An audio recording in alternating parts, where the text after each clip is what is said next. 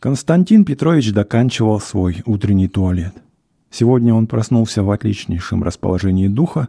Он сидел перед дорогим зеркалом, в котором отражалось его выхоленное, правда, несколько обрюзглое лицо. Но ведь и не мудрено, ему под 50, и он любит пожить. Кое-где пробивается седина, в общем, вид очень внушительный. Главное, особенно сегодня он чувствует себя молодым, на зло годам. Константин Петрович человек богатый, с положением и со связями. От него зависят судьбы других маленьких людей и все блага жизни к его услугам. Он это сознает и очень ценит. Он давно уже отлично понял, что за хорошая штука жизни, как хорошо можно устроиться в этом лучшем из миров. Надо только уметь пользоваться тем, что посылает судьба. И Константин Петрович пользовался. На службе он самым внушительным видом подписывал бумаги, если же у кого-нибудь из его друзей оказывались родственники, для которых нужна была вакансия, Константин Петрович всегда умел как-то особенно ловко создавать ее, помня, что всякая услуга обязывает друзей и что рука руку моет. Затем Константин Петрович любил комфортно жить, вкусно кушать и еще любил этих милых грациозных созданий, называемых женщинами. И в этой области он так удачно устраивал свои дела, что его доверчивая – Добросердечная жена ничего не знала, наверное. Хотя, кажется, кое-что подозревала. Может быть, страдала от этого, но о страданиях других людей Константин Петрович не привык думать. Это мешает жить. Рассматривая себя в зеркале, Константин Петрович напевал какой-то веселенький мотив и игриво улыбался. Кстати, он вспомнил, что у них в доме семейная радость. Вчера молодой человек, которому его дочь неравнодушно, просил ее руки и получил согласие – еще бы, такая прекрасная партия. Молодой человек со средствами и с блестящей будущностью. А у него тоже есть вкус к жизни. Константин Петрович усмехнулся. С собой не дурен, недаром у девочки закружилась головка. Слава богу, это дело устроено, ведь дочерей нелегко выдать замуж, подыскивать хорошую партию, а с ним девочка будет счастлива. Окончив туалет, Константин Петрович в том же игровом настроении направился в столовую, где жена и дочь ожидали его к утреннему завтраку. Лакей широко распахнул двери столовой, не успел он войти, как его дочь Лида весело подбежала к нему. Отец приподнял за подбородок ее хорошенькое личико и поцеловал в розовые губки. «Итак, мы невеста», — проговорил он шутливо. Сияющее личико молодой девушки слегка вспыхнуло, и она засмеялась. Константин Петрович поцеловал руку жены, солидно уселся за завтрак, продолжая шутить с дочерью. «Да», — думал он про себя, глядя на дочь. «Совесть моя может быть спокойна. Я сделал для нее все, что нужно. Она прекрасно воспитана, прожила весело и беззаботно свои 18 лет и пользовалась всеми удовольствиями, доступными для молодой девушки. Теперь она делает прекрасную партию, я дам ей приданное, которое навсегда обеспечит ее». Впрочем, Константин Петрович вообще чувствовал полное спокойствие совести, относясь очень снисходительно к своим грешкам. Окончив завтрак, он отправился к себе в кабинет, намереваясь заняться делами. В это время лакей доложил ему, что его хочет видеть по делу какая-то просительница. Константин Петрович слегка поморщился. Просители довольно часто являлись к нему, да и не мудрено. Мало ли бедного люда, нуждающегося в покровительстве влиятельного лица – Константин Петрович терпеть не мог этих визитов, но сегодня он был в таком благодушном настроении, что велел просить посетительницу. Через минуту в кабинет робко вошла молодая, очень хорошенькая девушка. Она казалась сильно смущенной. Очевидно, роль просительницы была ей непривычна. Увидав прелестное нежное личико молодой девушки, Константин Петрович весь просиял и уже не раскаивался, что принял ее. «Садитесь, пожалуйста», — заторопился он, придвигая ей кресло и садясь против нее, своего роскошного письменного стола, заваленного бумагами.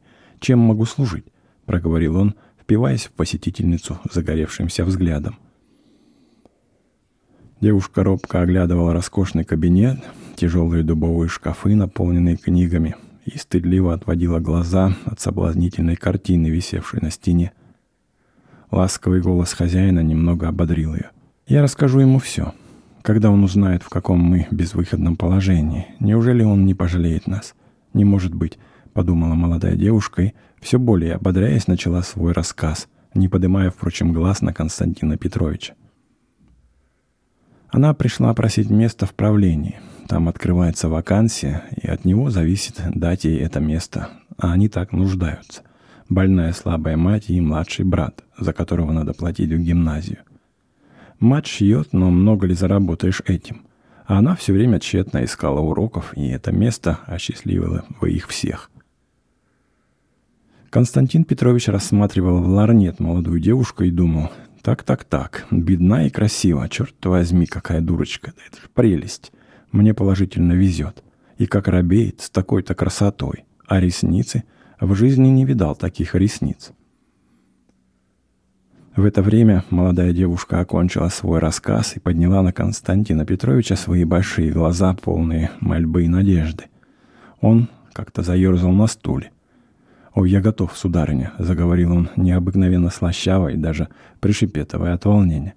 «Мало того, место, вы говорите, у вас есть маленький брат, его можно на казенный счет. Это я все устрою». Он на минуту приостановился, любуясь на засиявшее благодарностью личико молодой девушки. «Только вот что», — промямлил он еще слаще. «Зачем вам все это? Ну, место можно для виду. Только с вашей наружностью это вздор. Вы можете быть богатой». Он замолчал, внимательно следя за тем впечатлением, какое произведут его слова на молодую девушку. «То есть это как?» — спросила она удивленно. «А очень просто, мадемуазель. Вы так прелестны, у вас будет хорошенькая квартирка, ну и все такое прочее. А я буду вас навещать, и вашего брата мы пристроим».